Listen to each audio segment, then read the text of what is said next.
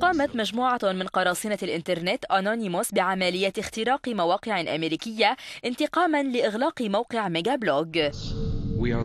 بعد قيام القضاء الأمريكي باتهام موقع ميجا بلوج لمشاركة الملفات بانتهاك حقوق الملكية وإيقافه من قبل السلطات ردت مجموعة القراصنة أنونيموس سريعا واخترقت العديد من المواقع الحكومية ذات الأهمية الكبيرة لسوق الأفلام والموسيقى. من بينها يونيفرسال ميوزك واتحاد شركات صناعة الموسيقى واتحاد صناعة السينما وموقع وزارة العدل الأمريكية. وصرحت مجموعة أنونيموس بأن هذا الهجوم يعد الأكبر في تاريخ المجموعة إذ اشترك في تنفيذه أكثر من خمسة آلاف مشارك.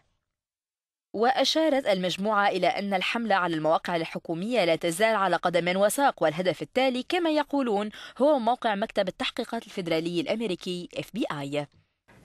الجدير بالذكر أن قرار القضاء الأمريكي بإغلاق الموقع وتغريم صاحبه بمبلغ ضخم قوبل بغضب من حركة تطلق على نفسها اسم المجهولون والتي اعتبرت أن ما قامت به السلطات الأمريكية هي عملية تضييق على حرية التعبير.